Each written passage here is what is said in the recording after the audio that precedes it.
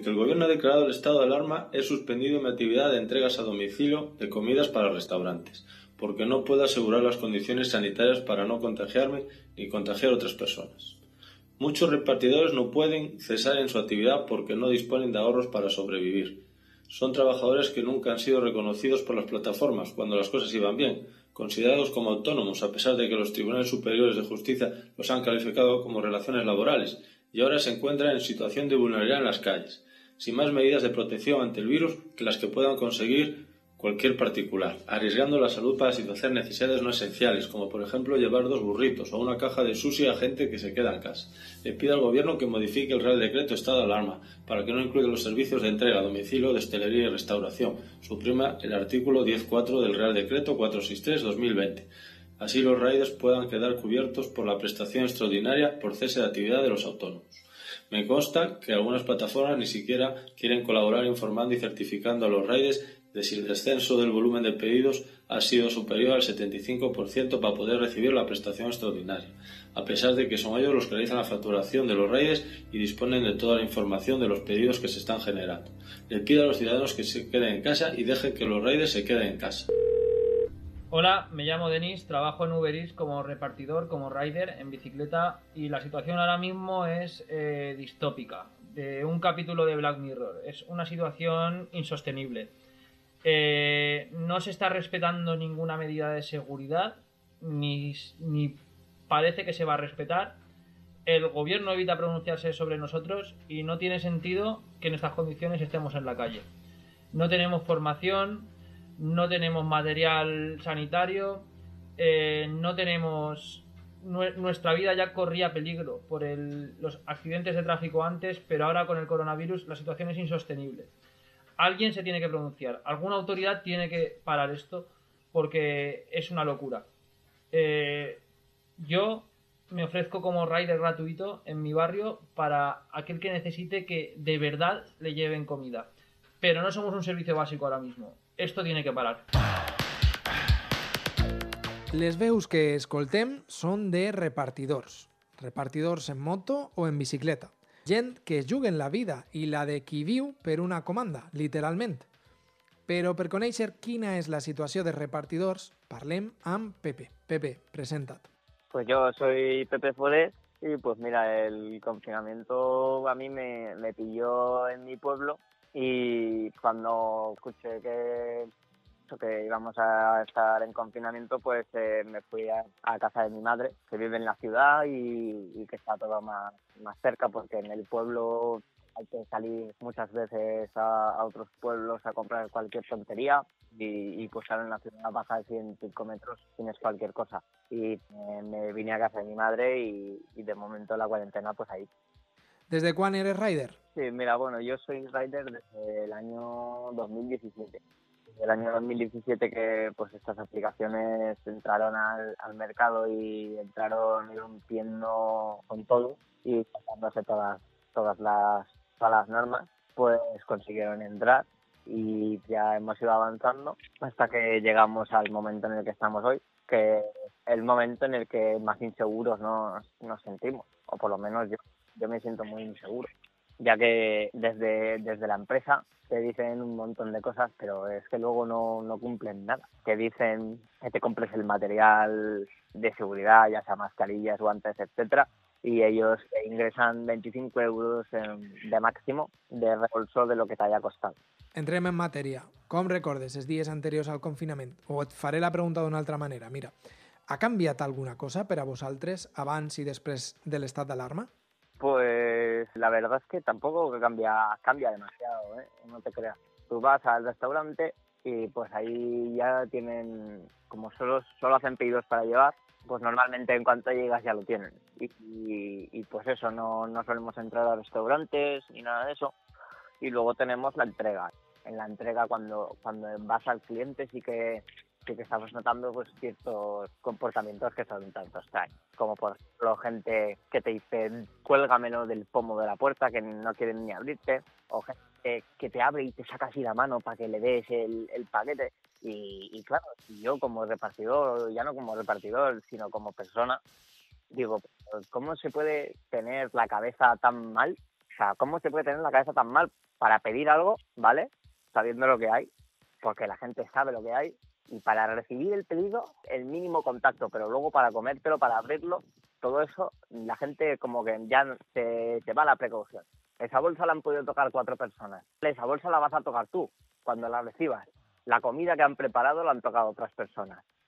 Todo lo que hay en esa bolsa y todo lo que contiene la bolsa ha sido manipulado por alguien que no eres tú. Parece que el virus lo llevemos nosotros, pero la bolsa no. Y no sé, hay gente que, que no, no se le entiende. ¿sabes? Luego hay otros que les da igual, que te abren como cualquier otro día. Yo por lo menos si pides, o por lo menos estás pidiendo, ya te la estás jugando, o sea, ¿qué más te da abrirle al repartidor? La gente se cree que, mira, no, no le abro al repartidor que me deje la bolsa o que me la dejen en el ascensor y así evito el contagio. O sea, es tan tonto como suena. Com trobeu de mascaretes, guants, d'equipament de protecció oficial? Somos nosotros los que lo tenemos que hacer todo y, pues mira lo que te digo que desde Riders por Derechos hemos recibido una donación proveniente de un sitio que no, no te lo puedo decir en prensa, ¿vale? Porque lógicamente es un chanchullo, esas mascarillas no eran para nosotros y pues tuvimos hace una semana un vídeo con muchísima repercusión, un vídeo que además soy yo el que habla, que lo dice y pues a raíz de ese vídeo dijeron que era, que era inadmisible, que era increíble que no se nos hubiera dado material y ellos desde su posición nos hicieron una donación de 50 mascarillas que bueno que nosotros repartimos entre, entre los repartidores, pero claro, o sea, 50 mascarillas para unos 600, 700 repartidores, estamos hablando de una para cada cinco. Y la cuestión es si el señor Pedro Sánchez dice que tenemos que seguir trabajando y que tenemos que seguir siendo lo que, lo que hacemos como si fuésemos un servicio esencial, que no somos, aunque no lo seamos, yo entiendo el porqué y yo sé quién está detrás de todo esto. Porque detrás de todo esto no está Pedro Sánchez, porque si por Pedro Sánchez y por Pablo Iglesias, que nosotros lo conocemos, y si por ellos fuera, nosotros no estaríamos trabajando.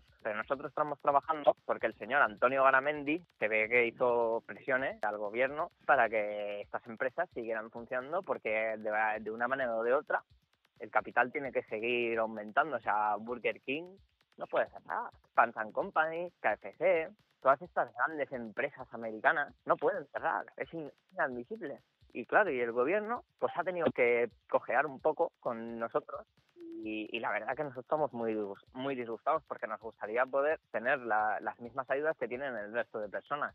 Lógicamente a nosotros no se nos puede hacer un ERTE. Globo ha hecho un ERTE, pero de, de sus trabajadores de verdad. Y claro, a nosotros eso no, no, no nos afecta, porque no somos trabajadores. Nosotros realmente estamos en un limbo. Y es eso lo que, lo que nos ha perjudicado, porque no hay nadie que se haya sentado y haya dicho, y esto no puede ser así. Y además, o sea, es que sin protección y sin nada. Dime las diferencias que hay de que yo me vaya con mi bicicleta a darme una vuelta por la ciudad a que vaya a repartir con mi bicicleta comida de globo y de libro. La diferencia es que yo lo que no puedo es poner en riesgo a los demás porque yo quiera salir en bicicleta. Pero si es para que Globo y todas estas sigan ganando dinero tal, entonces es otra cara.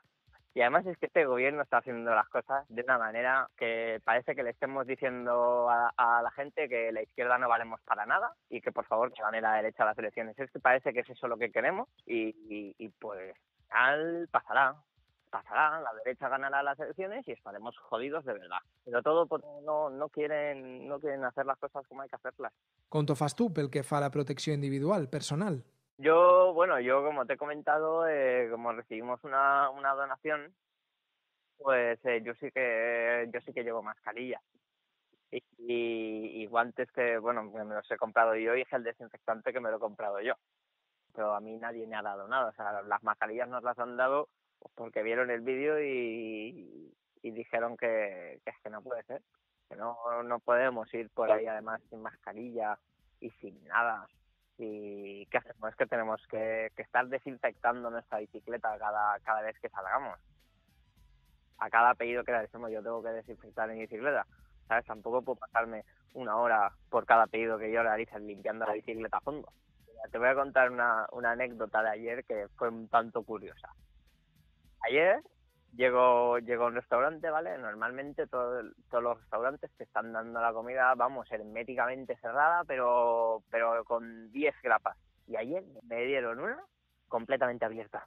Pero completamente abierta, que, que yo dije, yo como le entrego esto aquí, te digo, si no me lo coge, le... bueno, si no me lo coge, el problema es suyo, ¿sabes? Yo no tengo ningún problema, yo simplemente cojo la bolsa y la llevo de un sitio a otro punto.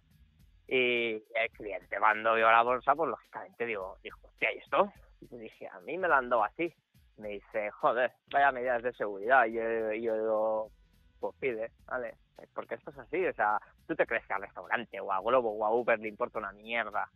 De, pero de verdad, y te lo digo así con todas las palabras y perdón por, por la mala educación, que alguien se contagie. No les importa, les importa que ese pedido lo pague y ya está. Tú lo has pagado, ya. Al igual que nosotros, los repartidores, igual. Que nos hemos contagiado, pues qué mala suerte. Els repartiments s'assemblen? Han canviat? ni hablar. Lo que sí que, por ejemplo, eh, no está llegando porque han cerrado es McDonald's. Los McDonald's son puntos de encuentro donde suelen estar los repartidores porque suelen llegar bastante. Lo que más está llegando pues son eso, pues KFC, de Black Turtle, Papa John's... És a dir, que sí que han canviat els tipus d'empreses on arreplegueu les comandes. Sí, bueno, hay, hay pequeños restaurantes que siguen abiertos, pero pero siguen abiertos porque estas empresas les han instado a abrir, porque realmente no puede abrir cualquiera. Es increíble, ¿eh? de verdad, pero lo que te, lo que te estoy contando, yo conozco un, un amigo y, y que tiene, tiene un kebab y a él no se le permite abrir, ni para llevar ni para nada, tiene que permanecer cerrado. Pero sin embargo, si estamos hablando de la gran empresa, como puede ser Papa John's, como puede ser Domino's, etcétera, etcétera, pues entonces la diferencia es otra, la respuesta es otra y todo es completamente diferente. Porque aquí quien manda son las empresas y eso está quedando más claro que el agua.